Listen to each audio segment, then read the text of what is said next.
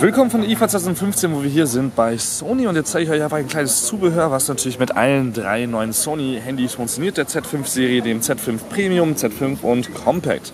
Hier haben wir das DK52, das ist einfach eine kleine Micro-USB-Dock, damit das Handy nicht einfach nur rumliegt, sondern wenn ihr ankommt zu Hause und das Handy aufladen wollt oder im Büro einfach andocken könnt. Klein und schwarz und ein Adapter ist auch mit drin, damit das bei etwas dickeren Handys wie dem Z5 Compact dann auch funktioniert. Hier mit den dünneren 7,5 und 7,8 mm dünnen ähm, Z5 funktioniert das ganz einfach. Ihr nehmt das, steckt sie rein und schon kann es geladen werden. Ähm, das funktioniert genauso mit dem äh, Z5 Premium, ähm, was die Dicke angeht, glaube ich hier so.